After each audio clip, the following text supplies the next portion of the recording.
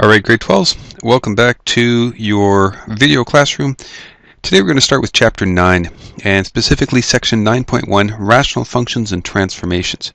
Now the good news is we've done a ton of transformations by now, and I think you'll find this relatively straightforward to do, but rational functions may be a little new to you.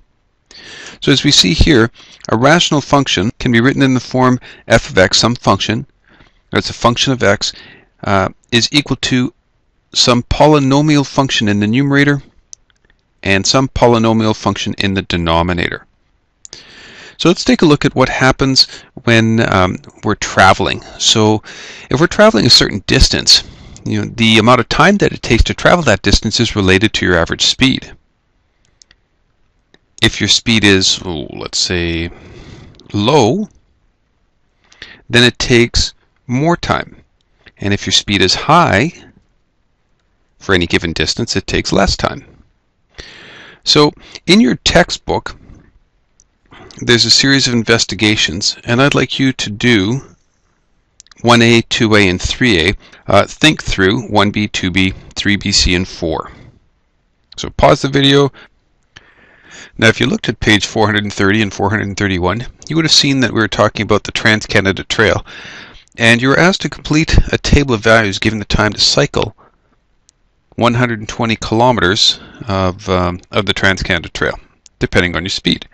And so here's what you would have seen. Um, if your speed was 1 kilometer an hour, it would have taken you 120 hours to get there.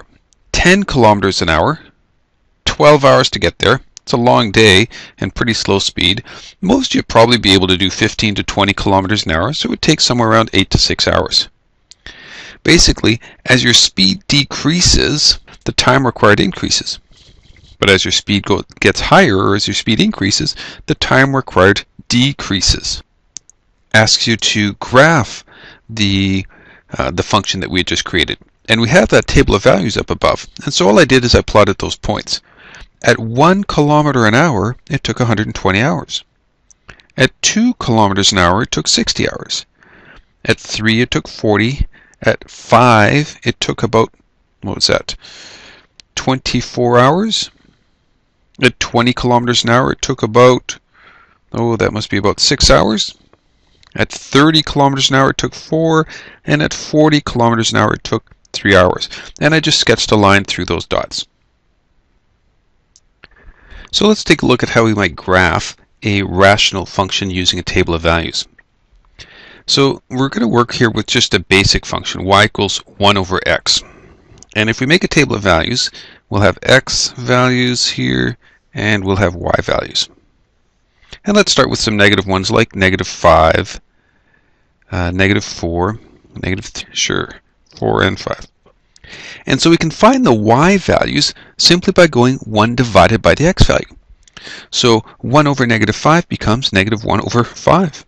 1 over negative 4 is negative 1 quarter. Negative 1 third. Negative 1 half. Uh, 1 divided by negative 1 is negative 1.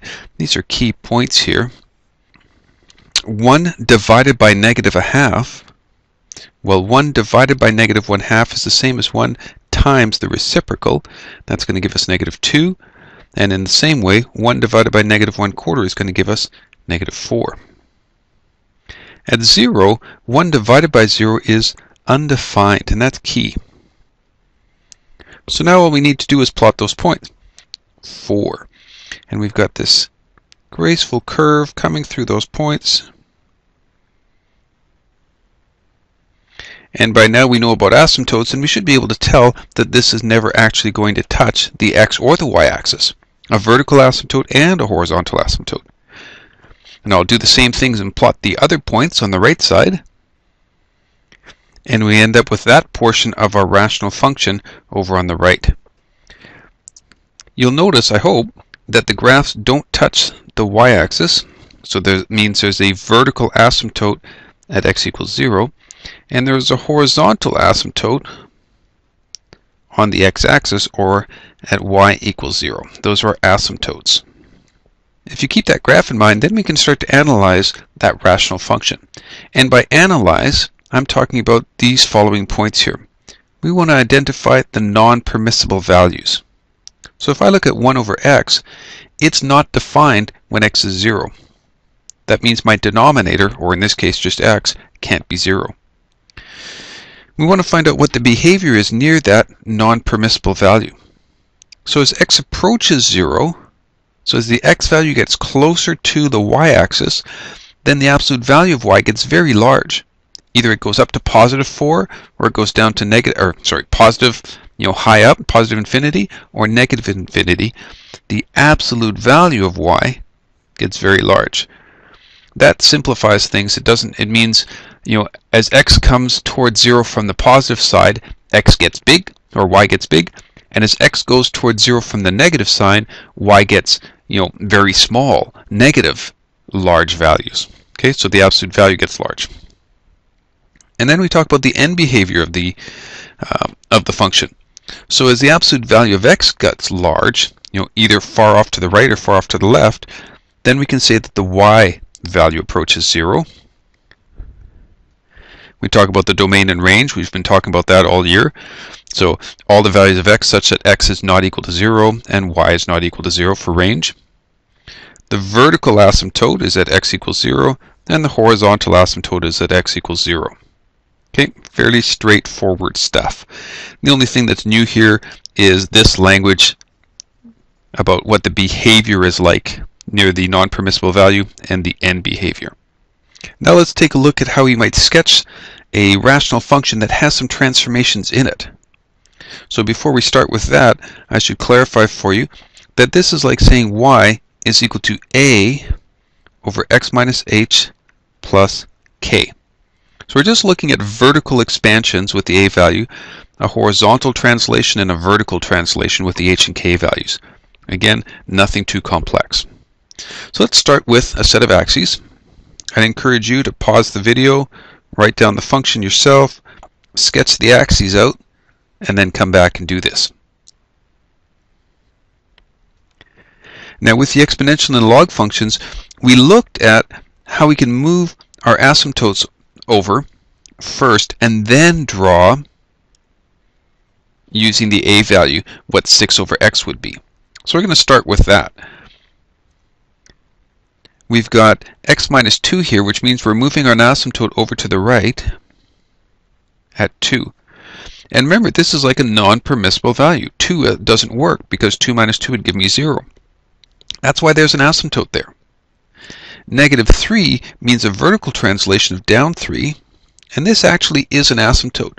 It's not one of those guidelines like I talked about in the last unit with the log function. The graphs will not cross that horizontal asymptote.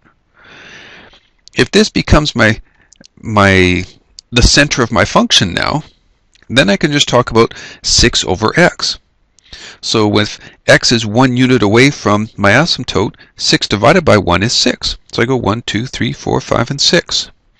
6 divided by 2 is 3. Make a point. 6 divided by 3 is 2. 6 divided by 4, 5. Let's say 6 divided by 6. Right? 1, 2, 3, 4, 5, 6 units away. 6 divided by 6 is 1. And I get this curve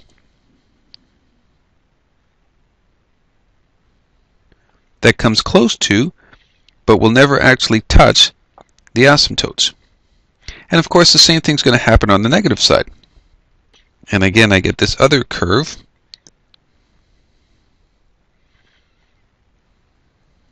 that comes down like that and never actually touches the asymptote.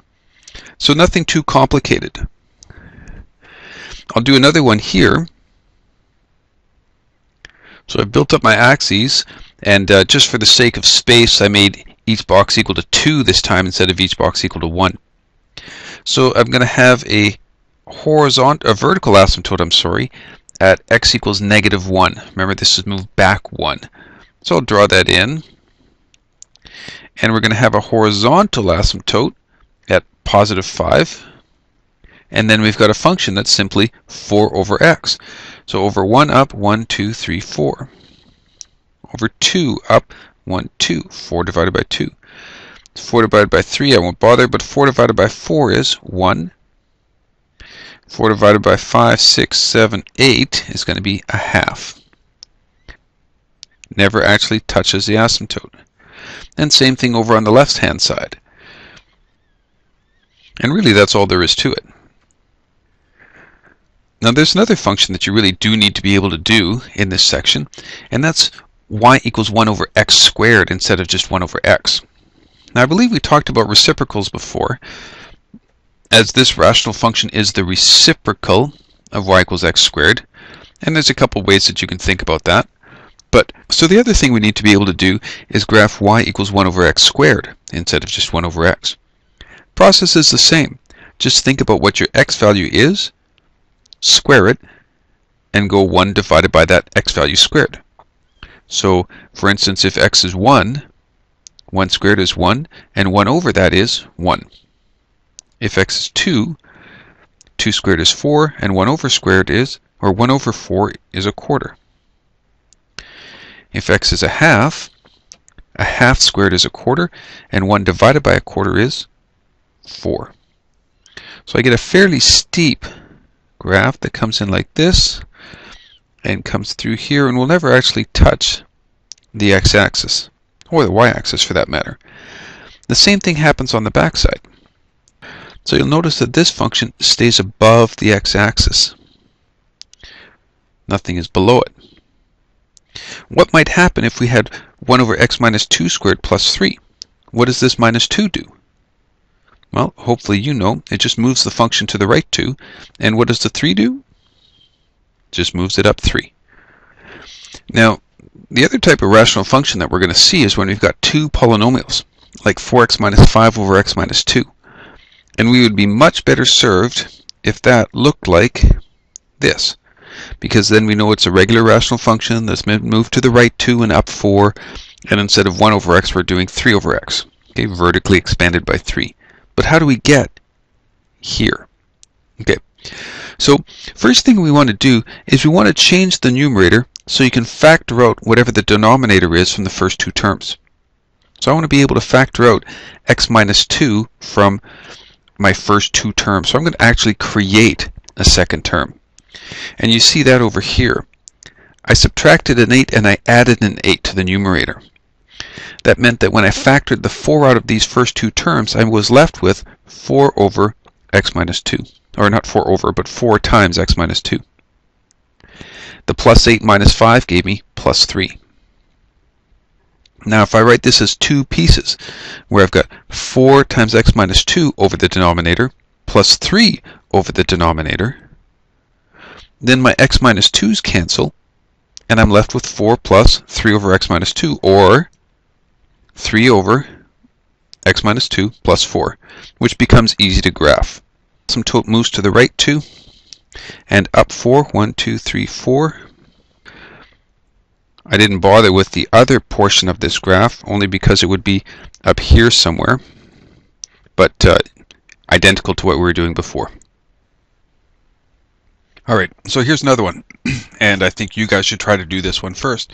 Remember, you want to set up the numerator where you can factor out or um, the leading coefficient here of 2 and be left with an x minus 4 plus some other stuff. So what do you have to add in here so that 2 times x, which is 2x, and 2 times negative 4 is a clue. You try it, and then uh, pause the video, and then come in and check again.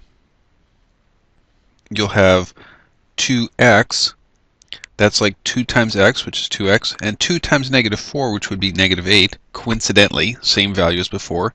But whatever I do to 1, I have to counteract that. So if I subtract 8, I have to add 8, and then plus 2, excuse me, over x minus 4.